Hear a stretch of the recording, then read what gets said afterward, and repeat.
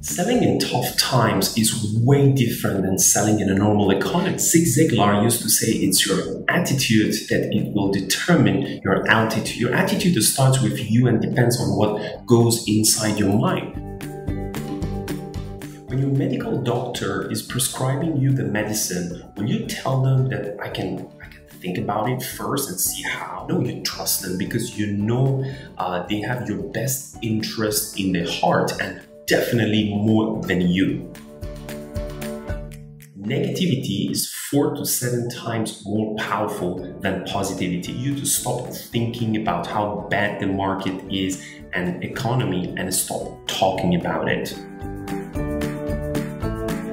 mistakes of the salespeople is to get out and meet as many people as they can. So they call it as spray, spray, spray, and then pray, pray, pray.